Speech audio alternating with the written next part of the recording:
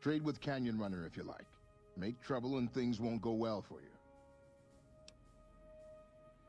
Very well. Legion Outpost, what's it look like? We crossed the river when the profligates fled from Searchlight. From here, we stage raiding parties and process captures. I'm an officer of the Legion of the rank Decanus. When we encamped, I commanded a contubernium of eight legionaries.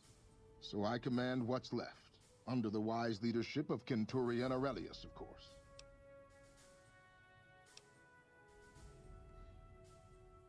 As much as their cowardice will allow, the profligates avoid open battle, but on good days we find one of their patrols.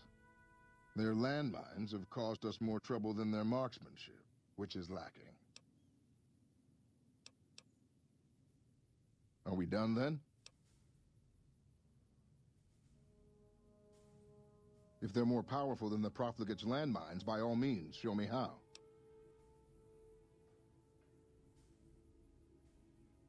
Tin cans, gunpowder, scrap metal, and duct tape? We won't have any trouble finding those ingredients.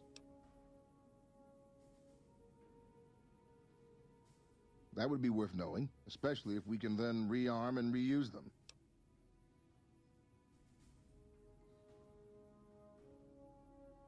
The light is a button that can interrupt detonation.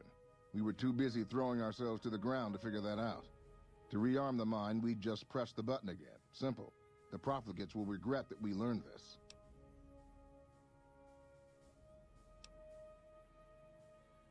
Vale,